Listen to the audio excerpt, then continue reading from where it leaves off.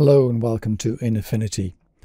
In another video I talked about a way to isolate monochrome, um, in other words from blacks to whites and greys and so on in an image and now this is introducing a macro for it. Um, there'll be a link to the macro sort of down below and this is the macro that you will get. If you just want to uh, implement a macro you just literally uh, go to the library at the top here, click on this one here, import macros, and that will be the one that you will have downloaded.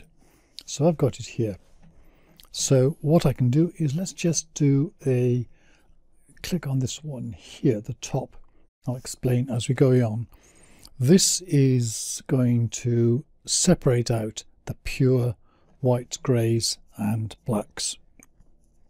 And the way you're going to use this is when you've got something like water here, you typically get highlights in the water which have gone pure white, where the sun's gone on them. And if you're going to print that, that can look odd because there's no ink on the paper. So if you can find those, we can turn them down off white and then we can do something about them.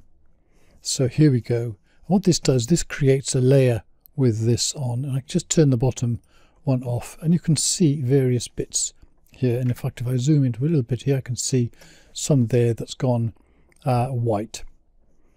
Uh, if at the bottom here whilst I've got this layer selected I can also click on this it'll turn into a mask and it'll put it into the channels down at the bottom there'll be a spare channels that you can reload into other masks and selections. So if I want to just kind of like isolate this so I can see what it is I'm going to go to the blend ranges here. And if I pull the left hand one down here and pull this right across it'll isolate everything here except the real whites down here. So there I can see just the whites in that. Now I'm going to uh, apply a curve here. And because here you can see there's the bits of white in it, all I need to do is pull this one down here and it'll go off white. Notice it's disappearing from there. That's because this is isolating only whites. So there you go, with just a slight tiny tweak there. I've added a little bit of colour so there will be some ink on the paper. And I can then go back here, go to the blend ranges and just click reset and it'll put it all back, but the whites now will be off white. And so if I turn the bottom layer on, those will recombine and now you'll get a an inked picture from beginning to end. That's one example. Another thing you can do, for example, here is if you want to do something with clouds up here, and if I pull the uh, pipette there down here, if I look at clouds here, you can see here there's red 201, green 216, blue 219. They're close, but they're not the same, so it's not going to be monochrome. So we can have a look off monochrome here. And I can click on one of these. Um, I'm just going to go for the 10% one, but before I do that, I'm going to help this because I'm going to give this a little bit of a white balance. So I go to adjustments here, go to the white balance and click on the picker here, then just click around the bit um, see there, this says 5% there, there 4%, 8%, 15%, 8%, and so on. So it's around about that sort of 8-ish mark, a lot of this is. So I'm going to kind of like put that as a kind of average. Then I don't have to change it because I am now going to use the macro. To go for 10% out, so there's a fair amount of leeway in this, which will show me my clouds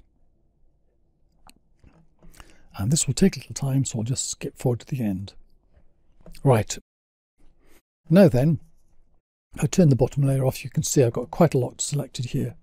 I got the ground as well, if I only want the clouds here, again I can use blend ranges, just go to this here, And if I click on the point somewhere in the middle there and bring this down here and across, you know, it's taken off all the darks. But you could also use it if you want to look into the darks, you've got pure black, which again you can might want to do something about.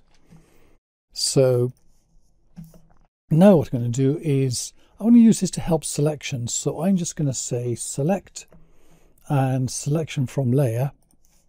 And notice this has selected all of this. Now I could actually get rid of this layer here. I'll just turn it off for now. Go back to the original, turn this on. So now we've got the white areas and off-white areas selected. If I just went straight to adjust them there, these are pixel edges, so you get a bit, bit of a harsh edge. So I can go to select feather and turn up the feathering here. So I got a kind of a softer edge to it and you can go quite a way with this. It's a high res picture, so you can scoot this up quite a bit. So I can apply that there. And now I can do something like, if I go to adjustments and to the curves here, then I can change the the brightness of those things. A little bit of tweak here. Had a control D, don't need those marching ants anymore. So I can brighten the, the clouds here. How about that for a selection? Yeah, it doesn't need much. Or I could go the other way around. I can click on the curves uh, there, in vertex, control I to invert the mask. Now I'm adjusting everything but the clouds. And so say, for example, oops, I could darken down things and there the clouds still are remaining there. So there you are, there's an examples of the things you can do and these monochrome macros which you can have free. There we go. Thank you very much for watching.